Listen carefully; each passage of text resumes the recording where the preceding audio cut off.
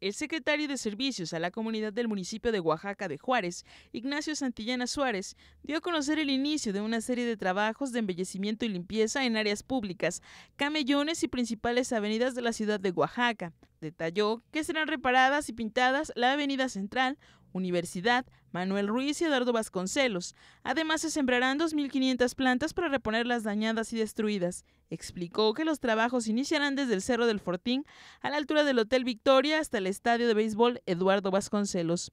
Santillana Suárez dijo que las calles aledañas al Zócalo no serán beneficiadas con este servicio, debido al plantón que mantiene una mínima representación de maestros de la sección 22 de la CENTE.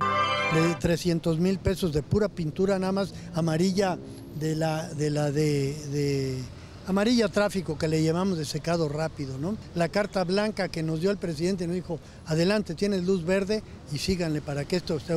Vamos a sembrar, les digo, aquí en la esquina donde está el parque de béisbol, que ya se hicieron las, donde están las vueltas inglesas, se hicieron los camellones y es puro concreto.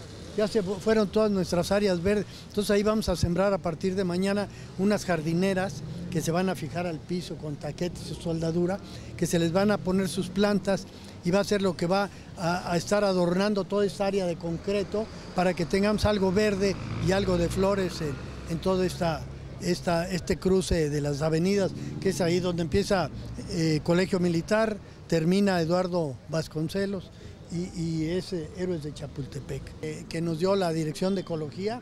Estas son las primeras que vamos a poner aquí y vamos a ir detectando algunos otros puntos. Yo quería también el Parque del Amor, en, en símbolos patrios, en algunos de estos que ya les iremos comunicando.